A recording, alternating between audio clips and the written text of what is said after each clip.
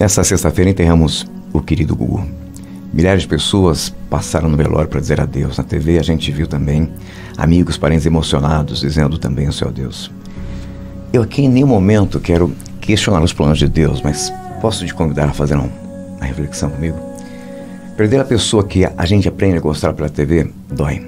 Perder um amigo que caminhava ao nosso lado dói. Perder o marido Gugu, o filho Gugu, o pai Gugu dói.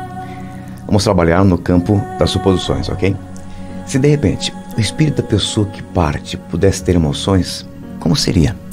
Todos vão sofrer com a morte de uma pessoa, mas e o Gugu? Vai sofrer a dor da saudade de centenas e centenas de pessoas. Nós temos que lidar com a dor da falta de uma pessoa. E ele? Já pensou nisso? Ele vai ter que lidar com a dor de tanta gente querida. Ainda no campo das suposições, como seria isso? Meus amigos. Eu parti cedo demais. Eu queria ter um pouco mais de tempo para conversarmos mais. Vou sentir falta, assim, dos nossos momentos. Era bom demais quando estávamos juntos, né? Eu vi tanta gente querida e amada ali lado do caixão, coração apertado, chorando, amigos queridos. Senti apenas falta de um amigo que eu considerava como um pai, na verdade, para mim. Eu entendi porque que ele não foi, mas tudo bem, quero que ele saiba que sentirei muita falta dele também. Afinal, todas as vezes que conversamos, eu sempre aprendi algo diferente, algo novo. E a minha família? Meu irmão querido, vi que você não conseguiu nem carregar o meu caixão. Se o seu coração doeu, imagine a minha alma. Éramos muito unidos. Ora eu, seu pai, ora você, meu pai. Minha amada irmã. Sempre tivemos um elo muito forte, né? Levarei comigo seu sorriso, irmã. Mãe, só queria te pedir desculpas. A senhora sabe que a única coisa que eu não queria no mundo era vê-la chorar, mãe. Me desculpa por ter partido assim. Me desculpa. Minha amada esposa, meu amor, nós tínhamos uma ligação profunda demais, né? Éramos mais que marido e mulher, amigos, confidentes. Não éramos apenas a metade um do outro. Éramos de fato uma única pessoa. Né? É, deixar amigos dói, parentes dói. Mas dói demais deixar filhos. Dói você saber que eles irão se casar e você não estará lá no altar.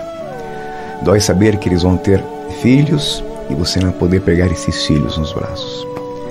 Dói demais saber que você não poder estar no momento que eles precisam para apoiá-los, não poder comemorar as vitórias deles juntos, meus filhos. Levarei comigo nossos momentos, brincadeiras que a gente tinha só nós, nossas risadas.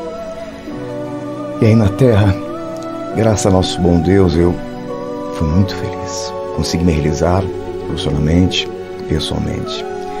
Tive muitas conquistas materiais, mas o que mais me tocou, mexeu comigo, foi ver o carinho, o amor, o sentimento puro, sincero de tanta gente que me conhecia apenas pela televisão, que aprendeu a me amar pela televisão. Quanta demonstração de amor e carinho. Somente isso é capaz de diminuir a minha dor. Eu parto não com uma sensação de missão cumprida, porque eu não vou mentir, queria um pouco mais. Mas parto com o coração em paz, sabendo que fiz o bem, plantei boas sementes e espalhei amor por onde andei.